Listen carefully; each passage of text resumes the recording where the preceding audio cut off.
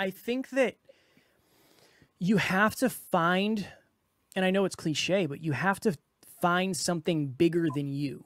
When I say that, I don't mean intrinsically you're not a valuable human being.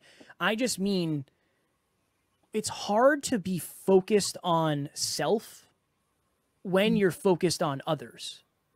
So that would be my natural reaction. When I felt the best was when I knew I was directly helping other people. This is the other thing, too. You have to make sure you're helping people with scars, not open wounds. Right. So, like, uh-huh.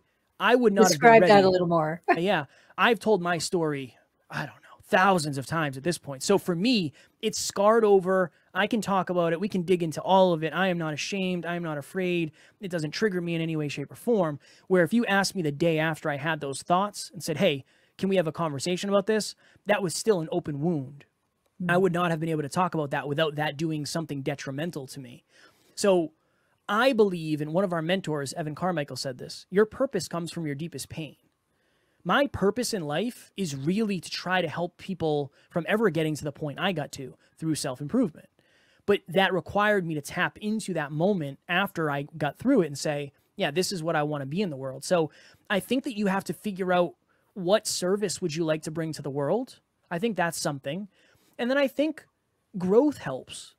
I really mm. feel like a lot of us, when we feel stagnant, that's when you lose hope when you lose hope, it's because you don't feel like you're making progress towards anything. And I think even in my story, I made all the progress I wanted and I felt like I was starting over and I didn't know what to do. I didn't know what to progress towards.